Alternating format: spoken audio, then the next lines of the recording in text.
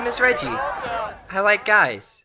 I really like guys. There's just something about them. I like their touch, their smell, their taste. I like to be taken from behind. I like feeling the heat of their breath on the back of my neck. I like. Oh, I got myself awkward. Would you like to help me cool down?